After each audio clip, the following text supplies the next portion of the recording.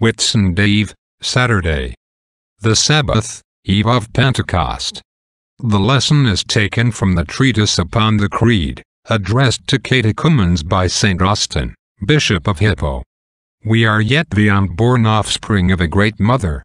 Our Holy Mother the Church hath by the most sacred sign of the cross received you into her womb, and from thence she is now just about to bring you forth, as she hath already brought forth your brethren, with thrills of spiritual joy. But until, through the washing of regeneration, she bringeth you forth into true light, she feedeth you in her womb with such food as becometh your condition, and in gladness matureth her children for the glad moment of her delivery. This mother is not stricken by the doom of Eve, to bring forth children in sorrow, and they themselves often times weeping than laughing, Rather doth your spiritual mother annul the sentence of your earthly Eve, by disobedience, endowed her offspring with death. The Church, by obedience, giveth them newness of life. All the mystic prayers and ceremonies which have been and are still being performed over you by the ministry of the servants of God, exorcisms, prayers, spiritual songs, unbreathings, haircloth, prostrations, baring of the feet, the dread which ye feel, albeit so safe, all these things, I say unto you, are the nourishment which ye are drawing from your mother while yet ye are in her womb, that at the baptismal birth she may be able to present you strong and laughing babes unto Christ. Ye have also received the creed, which is the shield of the travailing mother against the venom of the dragon. In the Apocalypse of the Apostle John it is written, and the dragon stood before the woman which was ready to be delivered, for to devour her child as soon as it was born. That this dragon is the devil ye all know. Ye know likewise that by the woman is signified the Virgin Mary, who, herself a virgin, bore our virgin head, and who is revealed unto us as a type of the Holy Church, in that, even as Mary, though she bore a son, remained a virgin, so the Church doth in all times give birth to all her members, and yet is ever presented a chaste virgin to Christ.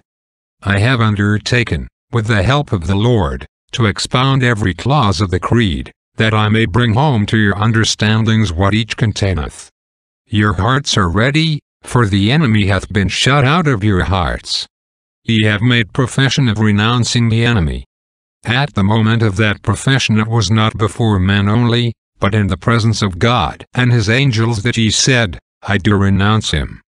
Renounce him, not only in your words, but in your ways, not only with your voices, but with your lives, not only with your lips, but in your works.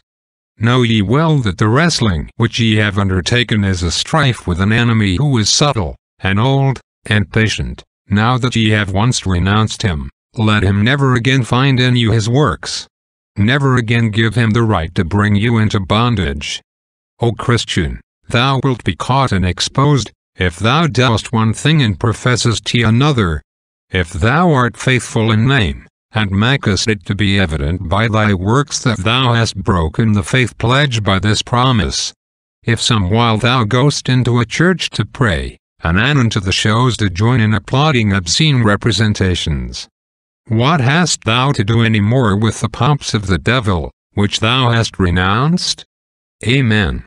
The lesson is taken from the Holy Gospel according to St. John, 14. In Illo Tempore. At the time, Jesus said unto his disciples, If ye love me, keep my commandments. And I will pray the Father, and he shall give you another Comforter. And so on. Homily by St. Austin. Bishop of Hippo. By these words of the Lord, I will pray the Father, and he shall give you another Comforter, he doth imply that himself is a Comforter. The Greek word used, namely, parakletos, signifieth also an advocate, and is used in that sense where it is written, We have an advocate, parakleton with the Father, Jesus Christ the righteous. Even the Spirit of truth, whom the world cannot receive, because, as we read elsewhere, the carnal mind is enmity against God. Or it is not subject to the law of God, neither indeed can it be, as we may say plainly, nothing can make unrighteousness righteous. by the world. In this place, we must understand the lovers of the world, a love which cometh not of the Father. And therefore it is that this love of the world, which we strive to lessen and to destroy in ourselves, is contrary to the love of God, which is shed abroad in our hearts by the Holy Ghost, which is given unto us. The Spirit of truth, whom the world cannot receive, because it seeth him not, neither knoweth him. For to love the world is to lack those spiritual eyes, which are able to see him who is invisible, the Holy Ghost.